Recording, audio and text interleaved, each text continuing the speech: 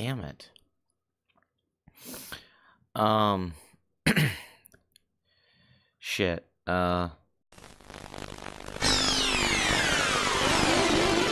Please rewind this cassette.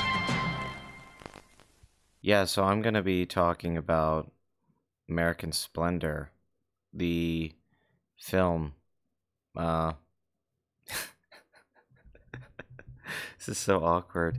Um, this shirt is fucking horrible. I would not recommend wearing orange t shirts, but it happens. But I have a cup of coffee here to get me through this. I actually wrote a script for this. You know, this is actually a little bit more professional than I would typically do. This was going to be a professional video essay with like nice editing and, and, and all that fancy stuff. You know, I was, I was going to be Nerdwriter with this one because, you know, I love that guy. He's great. Sorry if I'm going to be looking off because I'm, I'm reading the script. So this would be the video essay script that, that I would read and record and then edit to make sound all professional and manipulate you with my emotions.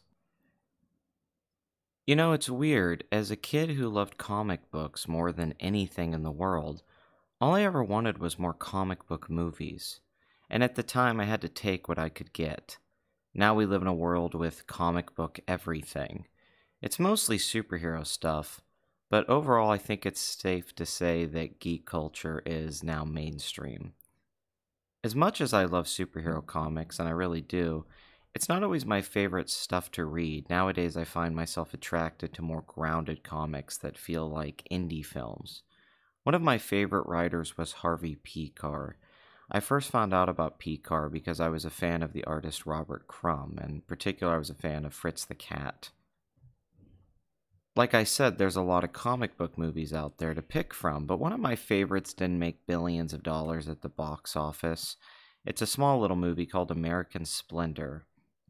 Originally planned to be shown on HBO with a modest budget of one and a half million, the producers liked what they saw so much they gave the filmmakers an extra $500,000 for post production, and the film was released theatrically. Upon release, American Splendor was acclaimed for its acting, writing, and directing. The movie made $8 million on a budget of 2 million and received an Academy Award nomination for Best Screenplay.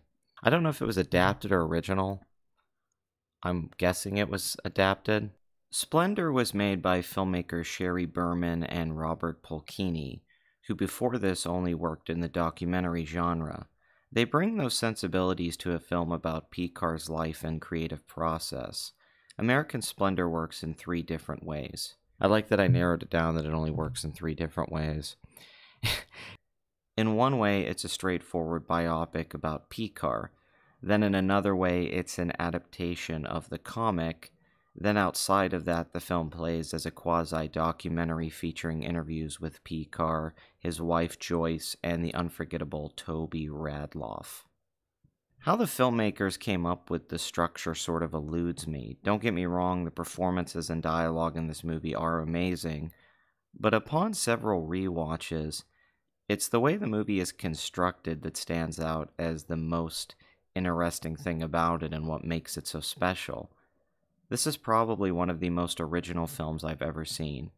Sure, it shares DNA with Woody Allen, there's a lot of Annie Hall going on in here, but at the same time, Pekar's point of view is so different from Allen's, despite their shared love for jazz music.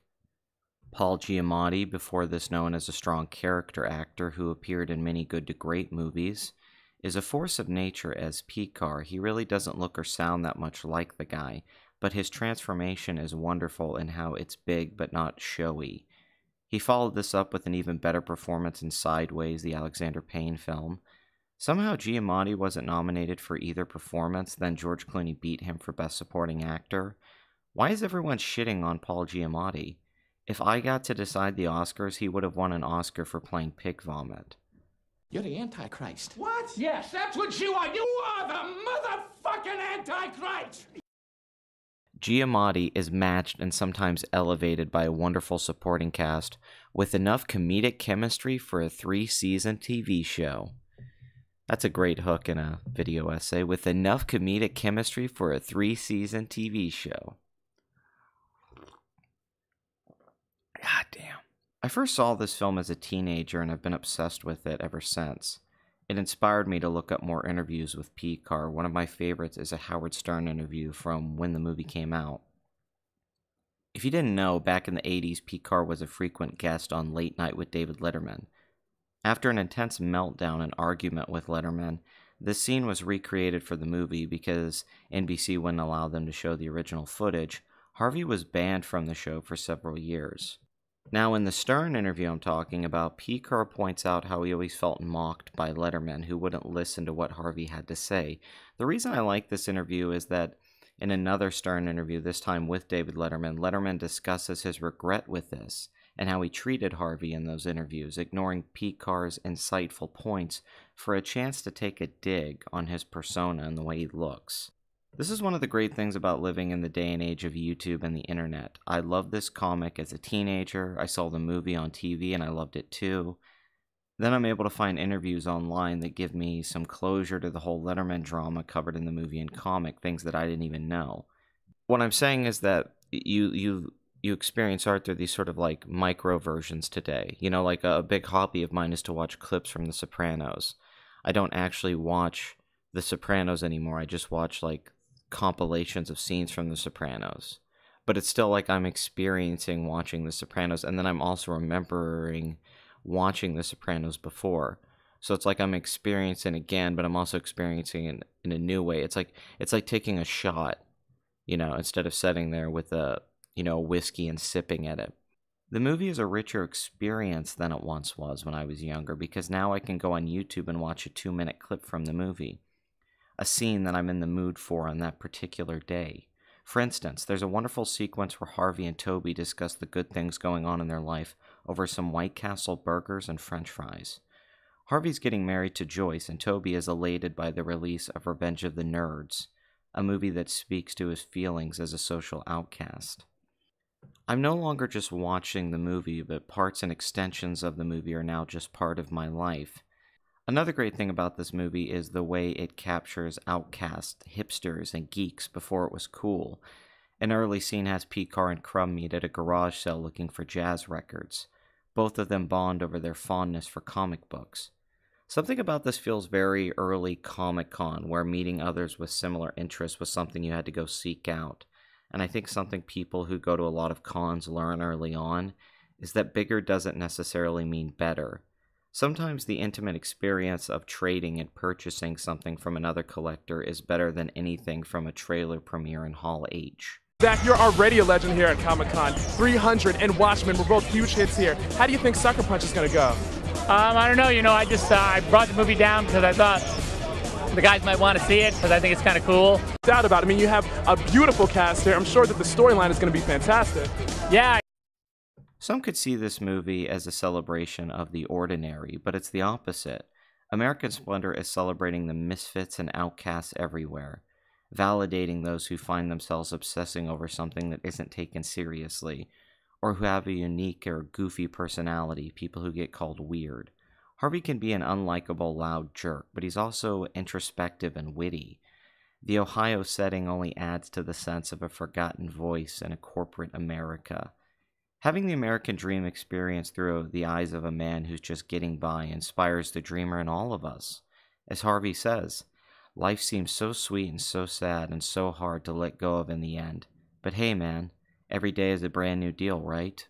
A big part of life is just getting up and willing yourself to keep moving forward, going with the everyday routine that you hate but need in order to stay centered. We all think we're more than what we are, and maybe deep down we are that. Harvey is a poet of the streets, a man living in the moment. How does one find true splendor? Well, the movie's answer is to just be yourself, man, and in the end, it'll all work out. What makes you different is what makes you beautiful. Harvey P. Legacy lives on, and the film, American Splendor, is one of the best comic book movies of all time, if not the best comic book movie of all time. I think it's at the very top, with like a Road to Perdition or something. I also recommend Ghost World and a documentary made by the same filmmaker, Terry Zwigoff, called Crumb, one of the best movies you'll ever see. And then I guess I copy pasted things from a message I sent because then it says yesterday 12:06 a.m. and then it says start a new message. So that's not a very good note to end on.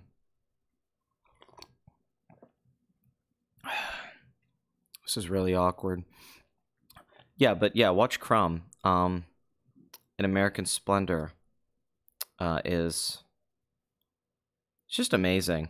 You know, that was my little essay on it, but it's uh, really actually one of my favorite movies of all time, and the maybe the greatest film I've ever seen about the creative process at the ground level with American Movie, the documentary American Movie, except that the guy in American Movie, while very entertaining, maybe he didn't go on to make very good movies. Harvey Pekar actually makes really good stuff. He makes really good uh, comic, writes really good comic books, or he did before he died. He's dead,